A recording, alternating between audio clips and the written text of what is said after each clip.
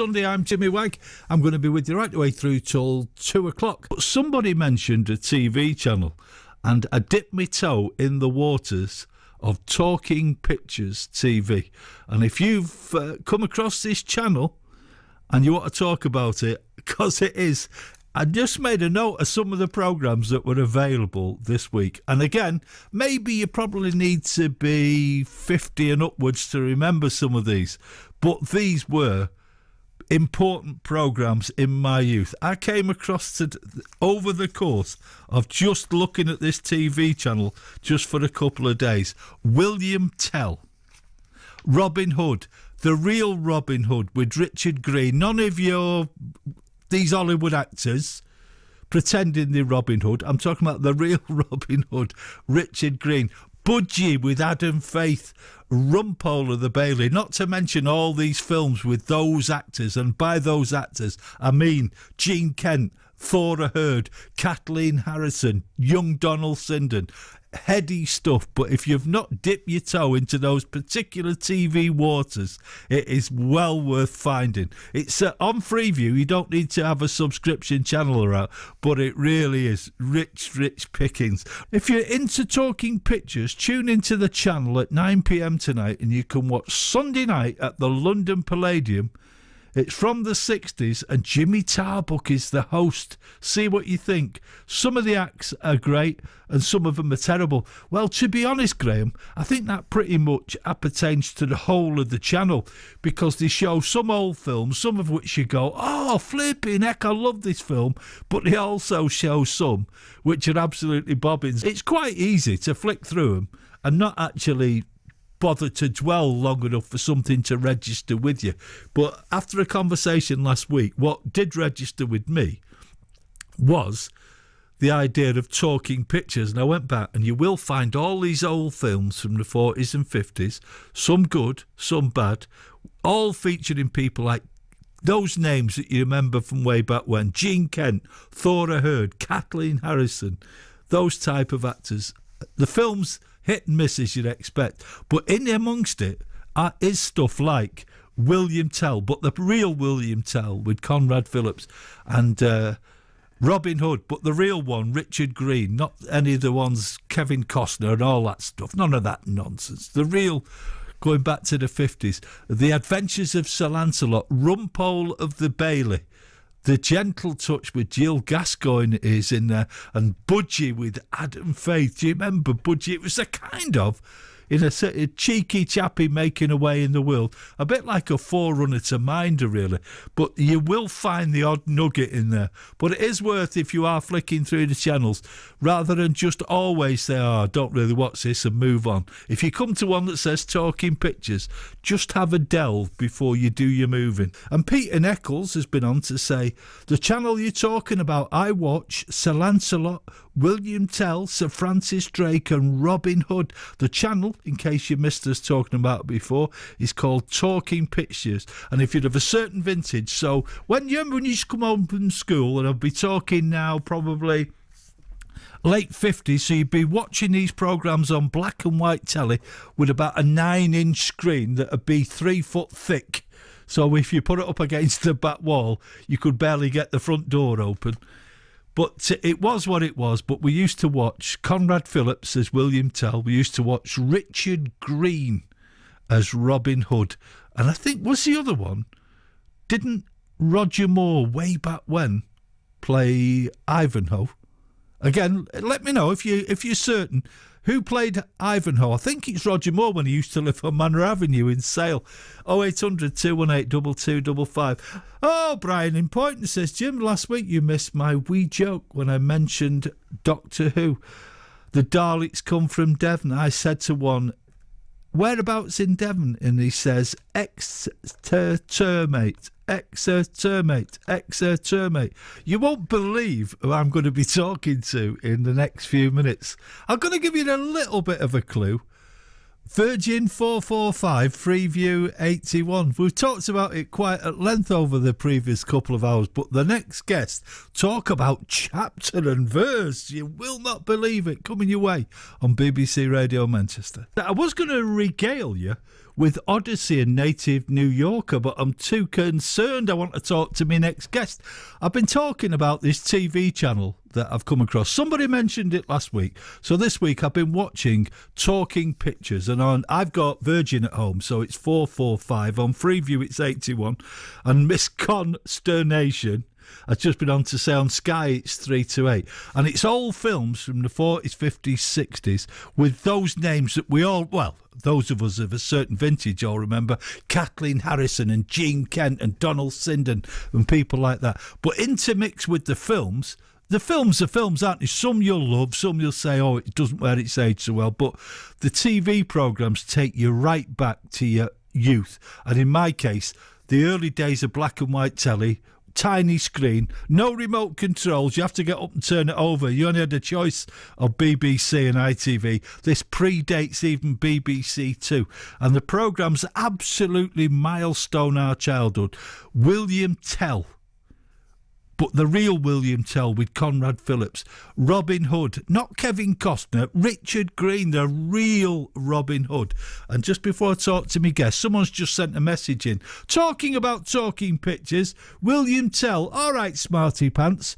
Who was William's arch enemy? Lamberger Gessler, of course, Lamberger Gessler.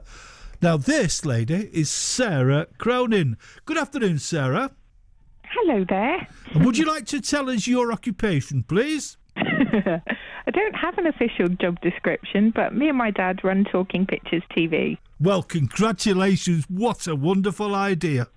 Oh, thank you. I think I think we just thought that, that nobody wanted to watch black and white anymore, and none of the big channels seemed interested at all. And we went round the houses and said, guys, we want to launch this channel that's purely black and white, bit of colour splashed in, but you know, taking people back to the 30s, 40s, 50s, 60s, and everybody in the TV industry said we were mad.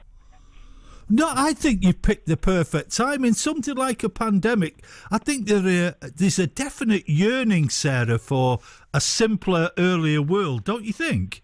Absolutely. You want to see our post bag. I mean, we launched five years ago. We're not brand new just I know, I know that, but it's so it's sort of it's found its perfect niche, I think, in the pandemic. Yeah, because it's a safe haven. We we don't play the news. We're taking everybody back to a time where they feel safe and something interesting, you know, and I think um, I think people crave nostalgia at, at these awful, difficult times. You know, it's nostalgia we all want. So where do you decide which programs do get in and which ones don't? uh, everybody thinks we've got this magical little shelf behind the projector, and we just sort of decide which film reel we're going to put on next. But sadly, it's it's all um, it's all a bit complicated. We we have a big archive that Noel, my dad, brought years ago when nobody was interested in the British B film. He started buying up all the rights, which was a really wise decision. And then the rest of them we, we go through. We listen to viewers' requests, obviously, and um, and our own film and TV history knowledge, and, and we license them from the people that own them still. So, you know, Richard Glenn riding through the through the Glen, um, we've paid um, ITV so that we can play that for everybody again. Now, Sarah, I don't, I would be never so ungallant to ask a lady her age, but you're obviously a lot younger than me. So when you watch William Tell with painted mountains and scenery, do you get it? I do get it. I do get it very much so. But I'm I'm very passionate about film history and TV history, and I've been brought up in a house with covered in film cans where we couldn't open the door, and Norman Wisdom would come and stay for a couple of days to make a film, and so uh, it's not it's not a new world to me. Um, and I am slightly younger than my uh, target audience, I suppose. But Dad's 73, um, and he works every day. He makes the schedules for the channel by paper. You know, it's not a computer software. He handwrites everything by card, and I think I think our love shows. Hopefully. Well, yeah, I think it does because I'm a similar vintage to your dad. I'm 66. But as soon as if somebody says to me, William Tell, I don't know how many films have been made in the interim about William Tell with whoever, however famous, playing William Tell. To people of my generation, William Tell is black and white and it's Conrad Phillips. There is no alternative. so it is. It is so evocative, Sarah. It's difficult to put into words. It is. I think Danny Baker once said we were like a cup of soup on a day off school. Um, and I think that kind of sums it up. But what, one of the best things I think about what we show is not about who the leads are, but who who went on to be big in the films that we're showing. So um, there was an episode of Sir Lancelot the other day with Leslie Phillips in. Um, I, I, watched um, Michael Caine in um, an episode of Robin Hood the other day. Very young Michael Caine. Not a lot of people know about that. Um, and uh, yeah, that's the, that's the greatest thing is is spotting who the third broom handler on the left was, and blow me down, it's Jean Kent, you know, and then and then two hours later we've got her as the star in a film. Well, somebody texted me last week, Sarah, and said they were watching a film on your channel, and they saw. Uh, a, a, what was his name? I can't remember him. Sam somebody, but a, Sam Kidd. Sam Kidd. He was in everything in the fifties and sixties. Sam Kidd's in every film I ever play. Ever. I don't think the guy ever slept. but according to the texter last week, he played three characters in the same film. Wouldn't be unusual for dear Sam. oh, dear I, Sam. I take it this is an absolute labour of love for you and your dad, then. Yes, it's certainly not a commercial decision. I can tell you. Can't that. you make any money out of it? No. Not at the moment, no. Hopefully, eventually, one day. I mean, we're we're five years in at the moment, but yeah, you know, whenever it'll happen eventually. Have you got any new treats on the horizon for people of my vintage to look forward to? Uh, lots.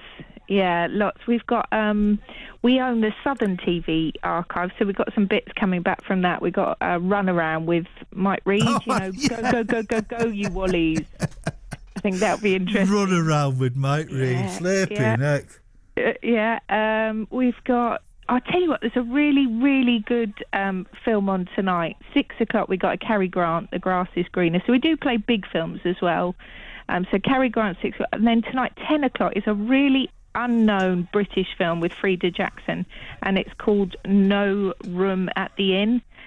It's going to make you cry. It won't cheer you up, but it is one of the best British films I've ever seen.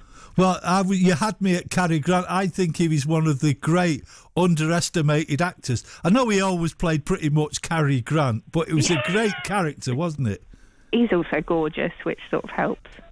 Oh, Sarah, it's honestly, we've been talking about talking pictures over the past couple of ah. weeks, and I think it has just caught public imagination. It is perfect TV for the situation that we find ourselves with lockdown. It's been a treat, and tell your dad, if for nothing else, I he, I he has my enduring love for Aww. reintroducing me to William Tell and Richard Greene as Robin Hood. Take no imposters, Sarah. Forget your Kevin Costner. It's not the real deal. Richard Greene's the only Robin Hood.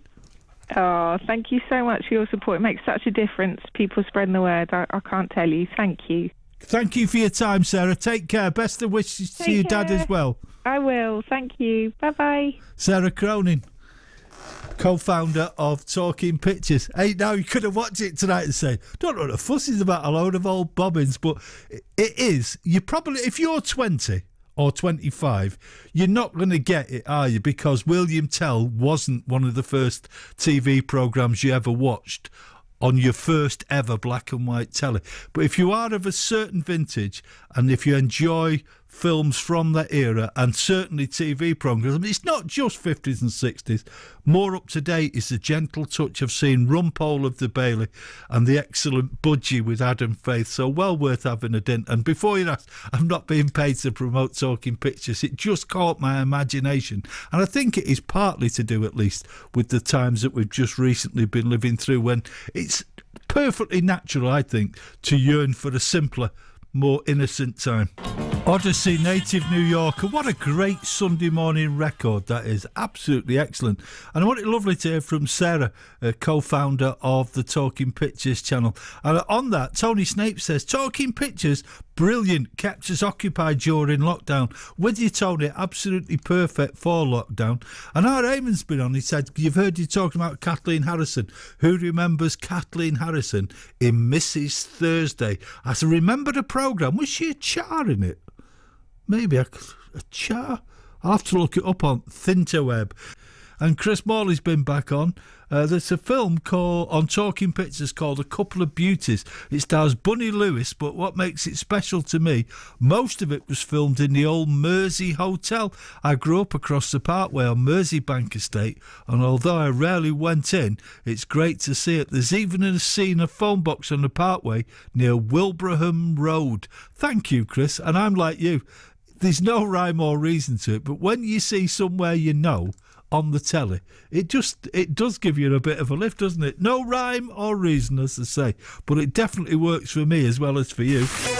Eileen in Radcliffe here. Love Talking Pictures channel. Me and my brother Jeff play a game of Spot Sam Kidd. we, we WhatsApp each other if he pops up in a film. And someone did tell me, I didn't see it myself, that Sam Kidd had popped up in a film playing three different roles.